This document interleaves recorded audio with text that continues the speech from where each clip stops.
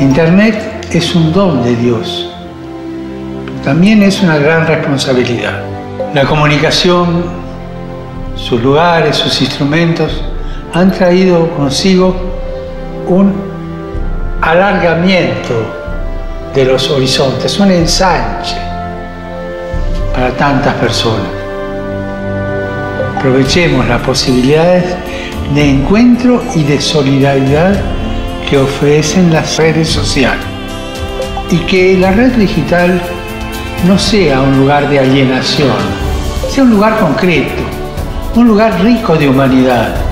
Creamos juntos para que las redes sociales no anulen la personalidad de cada persona, sino que favorezcan la solidaridad y el respeto del otro en sus diferencias.